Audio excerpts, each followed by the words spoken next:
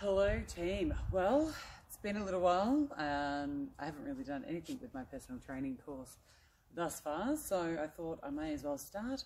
And today I'm going to be taking you through a little bit of a booty workout. Now, if you want to have me as your trainer, there's one thing that you need to know. I don't like HIIT classes. So, um, personally, I just don't really want to do them too much. Um, but also, if you don't get your technique right, then if you're doing an F45, any of those kind of 30 on 30 off type of classes um, that involves body weights or strength, um, it's more than likely that you're probably going to get injured. So, my type of training is a little bit different. I like to do my exercises properly, um, but you will reap the rewards from that. And it's also just really enjoyable for those of you that don't want to smash yourself in a session. So, let's go.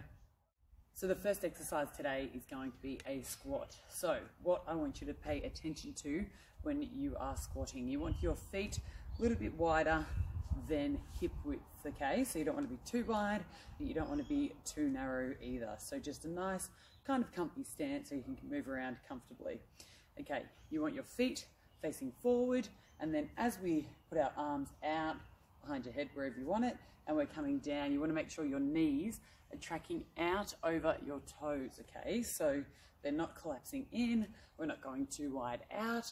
They should, with your feet facing on a 45 degree angle outwards, especially for women, your knees should track nicely over those toes down and then come back up. So from the side view, wideish stance, legs a little bit wider than hips, feet out on a 45 degree angle, and you want an even weight throughout all of your feet, through your toes, through your heels, not on one or the other.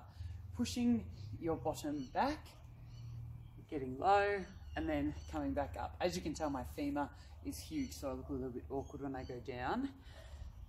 Looking down, making sure those knees are going out over your toes as you're pushing back up. Now notice when you get down to here, what I don't want to see is this little dip of the butt here, okay? So down there is too low, all right? Once that happens, it means your glutes are disengaged and they're no longer working. So I just want you to go as low as you can by looking in the mirror, by maintaining this. As soon as it starts to duck under like that, little dip, we come back up. We call that a butt wink and we don't want that, all right? So the first set will be 15 squats.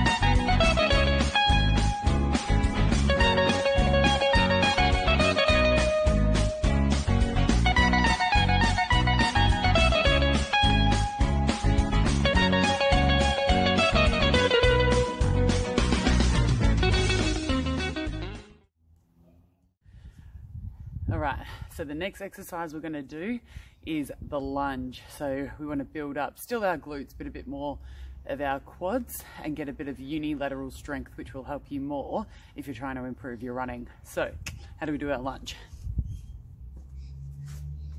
Coming down, one knee, you want this directly underneath your body, okay? So you're not too far forward, you're not too far back, okay?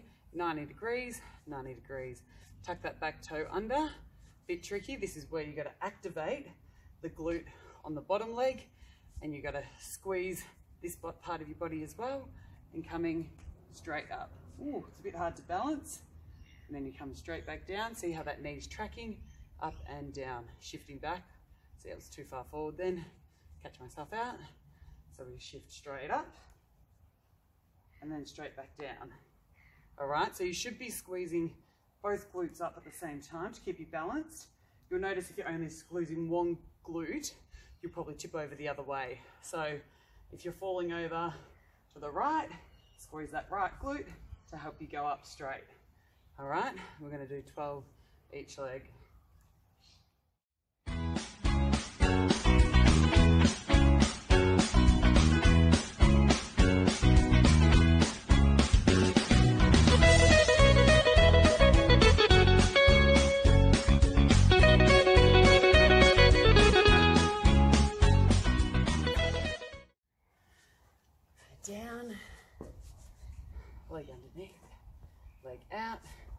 Flicking that toe underneath, 90 degrees, 90 degrees, up we come, good, Ooh, wobbles, and down.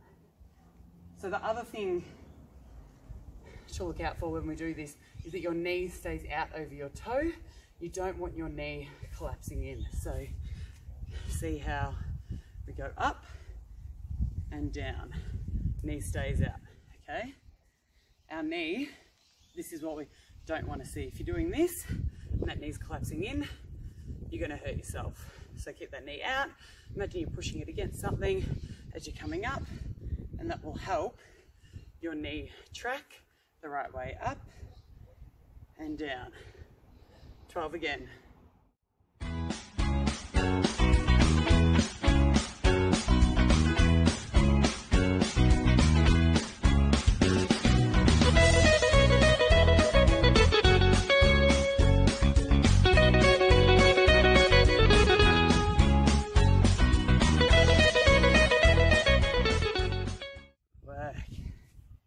Exercise is the hip thrust or the glute bridge, all right? This activates your glutes, helps strengthen them to activate.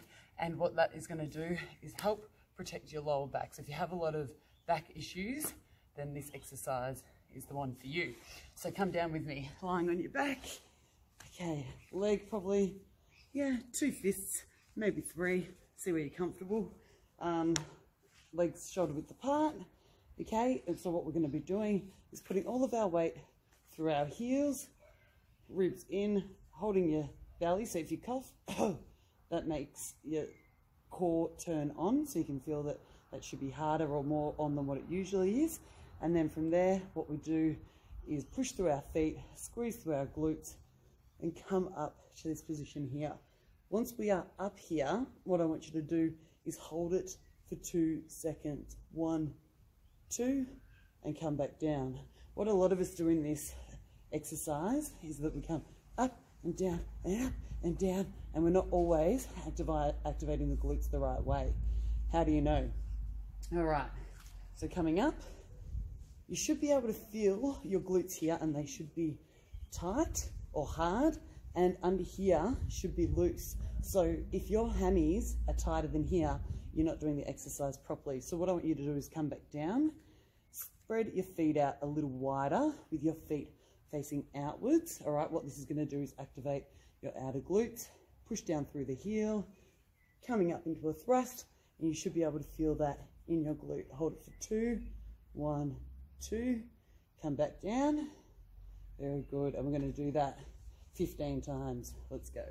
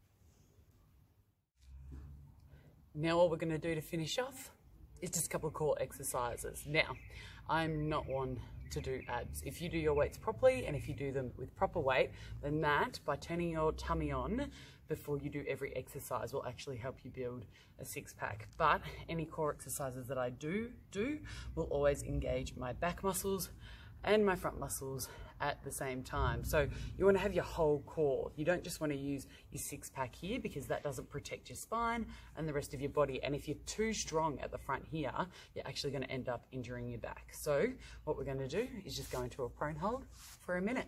And if you can't hold it, then you can take breaks. So come and join me and I'll show you how.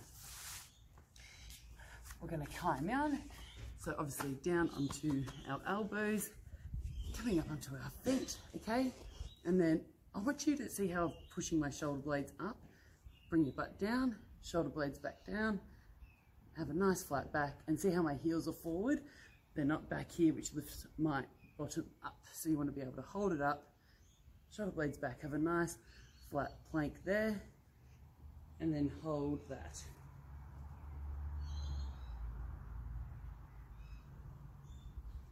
Now, if you're struggling at any time, so if your gut starts to come out a bit, if you're feeling like you need a push up, what I want you to do is just come down on your knees and have a bit of a break, okay? There's no point doing an exercise if you're not working the right muscles. So big breath in, big breath out, then we're gonna come up for another 30. So we push our feet back.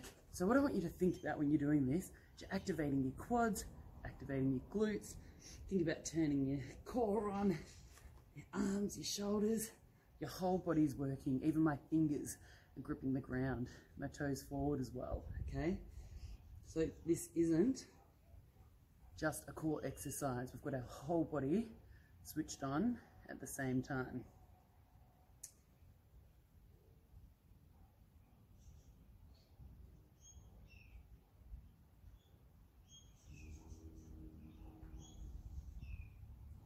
Good work. Okay, so that should be a minute or two lots of 30 seconds or three lots of 20 seconds. But if we do our front, we also have to do our side as well, all right? So what I want you to do, bring your elbow down under your shoulder. You don't want to over or under because we don't want to risk injuring our shoulder. I might have to put my feet on the concrete so I don't slip. Okay, so shoulder underneath, legs on top of one another. You can use this hand to help push up. Keep this hip nice and straight. So you want to be really squeezing these ribs in together underneath here. And if you look, oops, at your hips, which is hard to do, you want a straight line from here to here. You don't want to be folding forward and you don't want to be leaning too far back.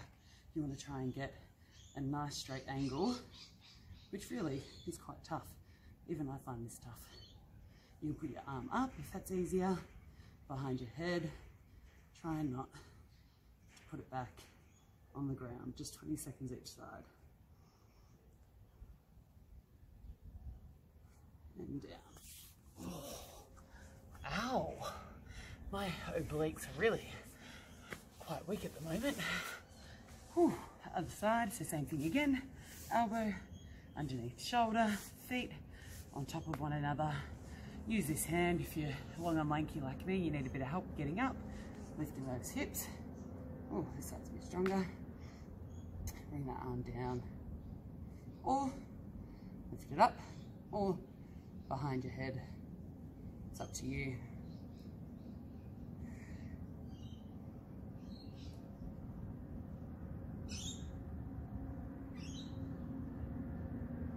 Five, four, three, two, one, and down. All right, so that is six exercises, all right? You don't want to be out in the gym all day. Something's always better than nothing.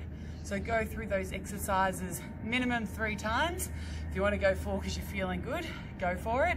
Remember, high reps is great for building the base and endurance in your muscle, especially when you don't have any weight on you. So Thanks for joining me and tune in for the next episode.